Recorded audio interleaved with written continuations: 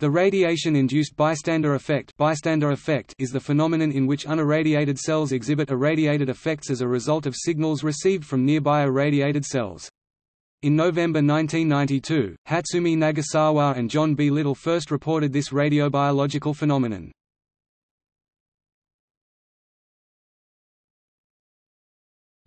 Effect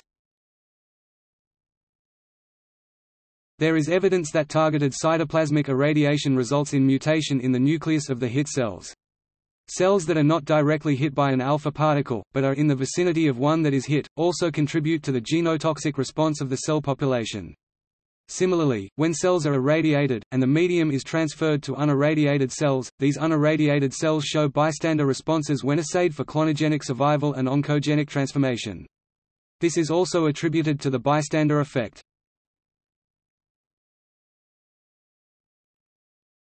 Topic: Demonstration. The demonstration of a bystander effect in 3D human tissues and, more recently, in whole organisms have clear implication of the potential relevance of the non-targeted response to human health.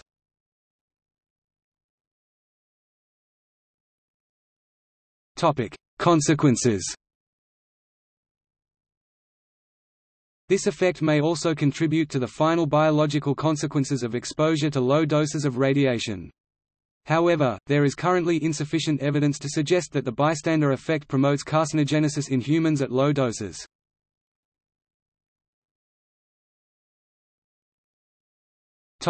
Notes Note that the bystander effect is not the same as the abscopal effect. The abscopal effect is a phenomenon where the response to radiation is seen in an organ, site distant to the irradiated organ, area, that is, the responding cells are not juxtaposed with the irradiated cells. T cells and dendritic cells have been implicated to be part of the mechanism.